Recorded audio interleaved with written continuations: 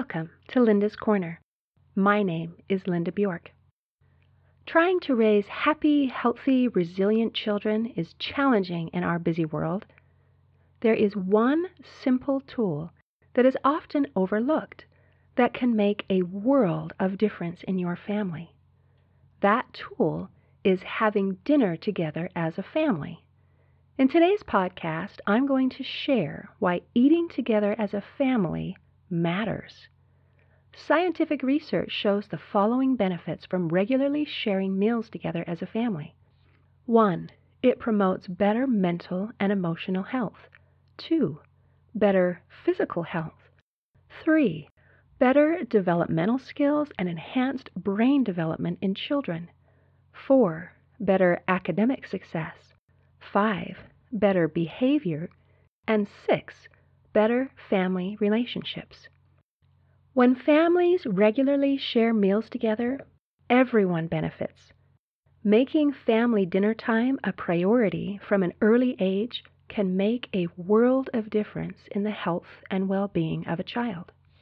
Let's go over those six scientific reasons why eating together as a family matters one at a time. Number one, better mental and emotional health. As parents, we want our children to be mentally and emotionally healthy, but how do we know how they're doing? We observe and we listen. Family dinner gives a consistent opportunity to do both. As families regularly spend this time together, parents can observe their children's moods, behavior, and activities, which provides them with insight into the emotional well being of their children. And research shows that more family talk occurs during mealtime than during any other activity. So if you want your children to talk to you, eating together is the most effective way to accomplish this. Family meals provide structure for the day, allowing children to feel more secure and safe, knowing what to expect. It provides a secure foundation for children to grow on. Dinner is a perfect opportunity to build self esteem in children. When you listen to what your children have to say, they hear the message, You matter to me. I care about you, and I care about what you're doing. You are important to me. And studies show that children who eat with their parents are getting that message. They generally have higher self esteem and a lower risk of depression and suicidal thoughts. Eating together as a family increases resilience. Meal times give people the opportunity to express their anxieties and concerns. In a recent study, kids who had been victims of cyberbullying bounced back more readily if they had regular family dinners. Teens who eat together regularly with their families also have a more positive view of the future compared to their peers who don't eat with their parents. They have fewer emotional and behavioral problems. They also reported a higher life satisfaction regardless of family economics. These benefits are not just for the children. Mothers who are with their families were also found to be happier and less stressed as compared to mothers who did not. Studies have shown that having dinner together as a family leads to greater happiness for all family members. If you want your children and your family to be happy, confident, and resilient, then eat dinner together as a family. Number two, better physical health. Families that eat together tend to make better food choices. Statistically speaking, they eat more fruits and vegetables, less saturated and trans fats, fewer fried foods and sodas, have a lower glycemic load, and eat more vitamins and other micronutrients. Children are less likely to be obese and have a much lower likelihood of developing eating disorders. They also tend to get adequate nighttime sleep and are better at limiting screen viewing time. If you want your children to be physically healthy, develop healthy eating habits, and maintain a healthy weight, eat dinner together as a family. Number three, developmental skills. Sharing dinner together with parents promotes language skills. Research indicates that family conversation at home is associated with brain development in children. John Gabrieli, the senior author of a research study using functional magnetic resonance imaging, says it's almost magical how parental conversation appears to influence the biological growth of the brain. Mealtimes offer unique opportunities for children to learn as they hear longer discussions that include explanations and narratives. Children expand their vocabulary as they hear new words used in conversation. In addition to language skills, the dinner table gives children the opportunity to learn social skills from their parents.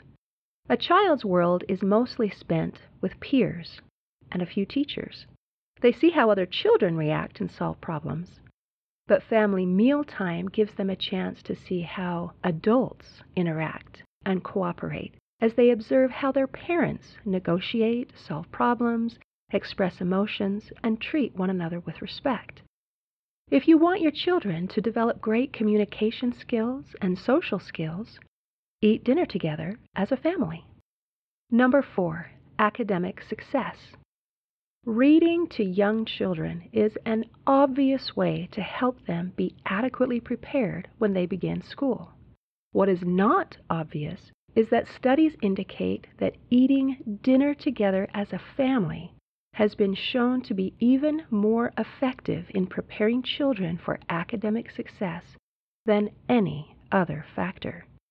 In fact, regular mealtime is a more powerful predictor of high achievement scores than the amount of time spent in school or the amount of time doing homework.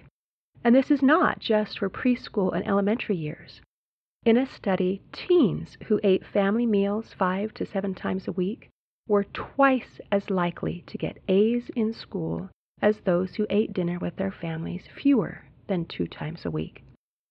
If you want your children to be successful in school, eat dinner together as a family. Number five, better behavior. Children who eat with their parents regularly are more likely to be adjusted, have good manners and communication skills, they are less likely to engage in high risk behaviors like substance abuse, violence, school problems, eating disorders, and teen pregnancy. Teens who have infrequent family dinners, fewer than three per week, are two and a half more times likely to use marijuana, twice as likely to use alcohol, four times more likely to use tobacco, and significantly more likely to have access to prescription drugs which they use to get high. The frequency of having family dinner also seems to affect a person's choice of friends.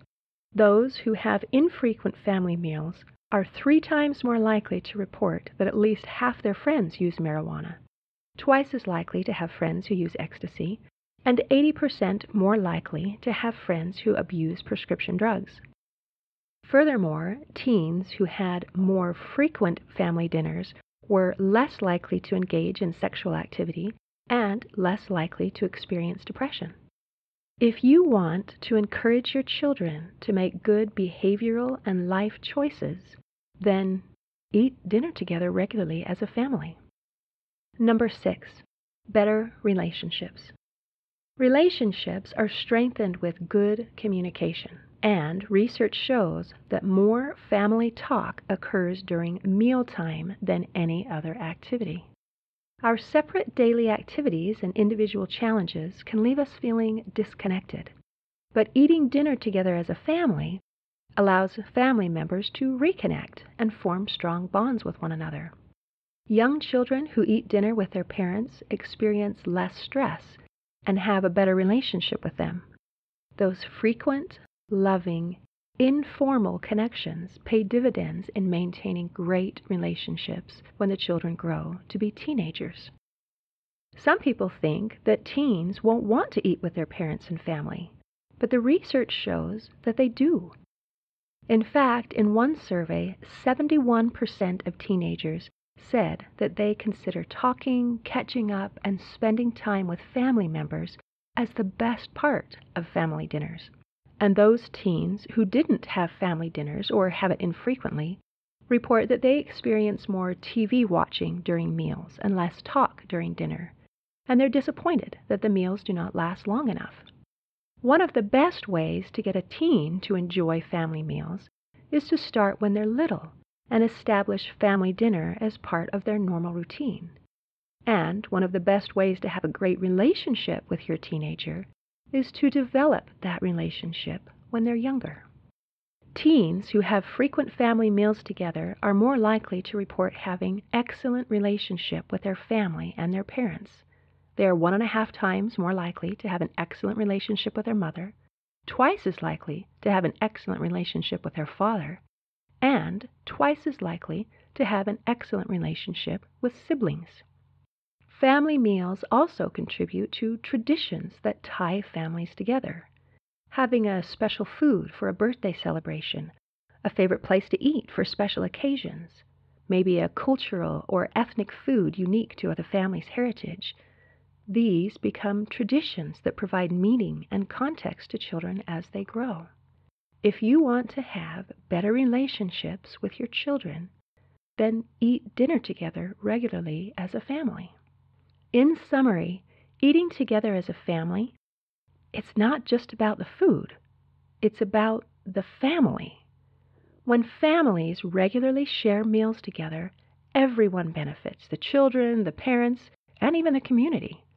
Making the family table a priority from an early age can serve as a kind of vaccine against many of the harms and temptations that come to children from a hurried lifestyle. Eating dinner together as a family promotes better mental and emotional health, better physical health, better developmental skills and enhanced brain development in children, better academic success, better behavior, and better family relationships. I know we've covered a lot of information, but don't worry. All of this is written down and available on the website twogoodthings.net under the tab Linda's Corner.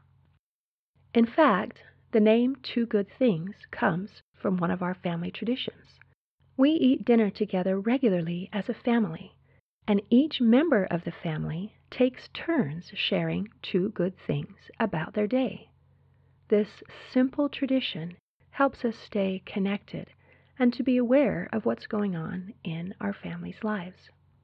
The importance of family dinner cannot be overlooked. Today, I invite you to turn off the TV and put down the phone and enjoy a meal together with your family. Here's a simple suggestion to encourage sharing and discussion. Take turns sharing two good things about your day. It's an easy way to keep connected and strengthen your family. In closing, I'd like to share a quote from Ronald Reagan All great change in America begins at the dinner table. See you next time on Linda's Corner.